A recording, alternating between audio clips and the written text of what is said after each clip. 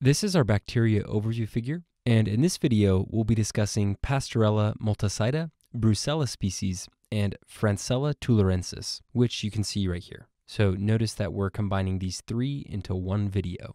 To begin the story, notice that Batman is coming out of his Batmobile on a dirt bike. Even though he has his mask on, we all know that his real name is Bruce Wayne. Bruce sounds kind of like Brucella, which should help you remember that this part of the image is about Brucella.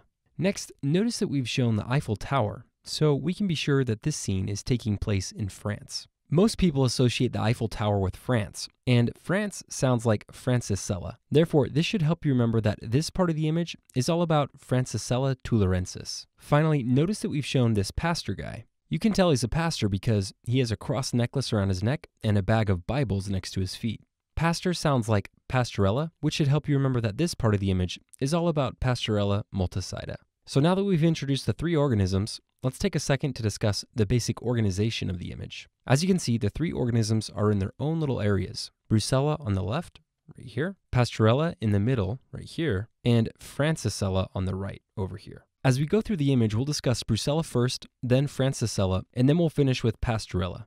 After we're finished, you should be able to easily compartmentalize the information based upon how we've organized everything. Okay, with this in mind, let's continue discussing the image. As you can see, we've made the sunset appear very pink and red. Just like in our other videos, this is to help you remember that Brucella, Pasteurella, and Francisella are all gram-negative. This is a gram stain of gram-negative coccobacilli, more specifically Brucella. However, Pasteurella and Francisella also exhibit a similar morphology when viewed under the microscope.